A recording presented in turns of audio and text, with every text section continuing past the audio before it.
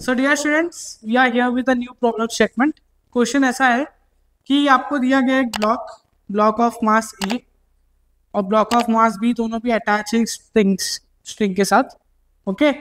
तो आपको पूछा है कि what should be mass of this part so that the block doesn't move और द गिवन इंफॉर्मेशन इज़ कि आपको म्यू फ्रिक्शन दिया हुआ है ओके तो टू अप्लाई दिस ट्रिक आपको यहाँ पे नॉर्मल क्लेचर एस्टेब्लिश करना पड़ेगा। So let this block name be M H, the hanging block. ये ब्लॉक का नाम दे देते हैं हम?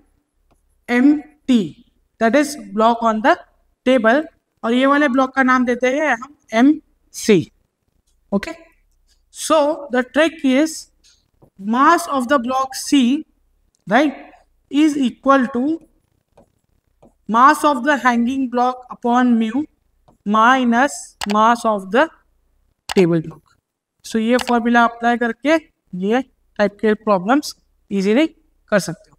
Thank you so much